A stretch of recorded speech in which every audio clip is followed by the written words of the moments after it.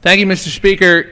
I've learned a lot in my first year in Congress, but I could serve here a lifetime and never understand how some members could be so callous and so short sighted that they are ready to cut off a lifeline for millions of Americans, including 137,000 New Yorkers. These New Yorkers are hardworking people like Stephen from Sugarloaf, who wrote to me because he needs unemployment insurance to stay in his house, like Brenda in Fishkill where she and her husband are both enrolled in retraining courses right now, trying to get work, and need this insurance just to make ends meet.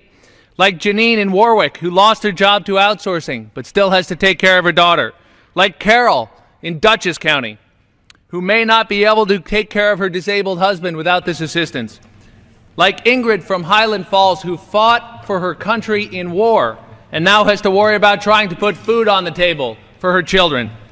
We must renew unemployment insurance for people like these now because every week that goes by, there are 5,000 more people like Stephen and Brenda and Janine and Carol and Ingrid. These aren't statistics, they're hardworking Americans, and they need this Congress to act and act now. And I yield back. Gentlemen.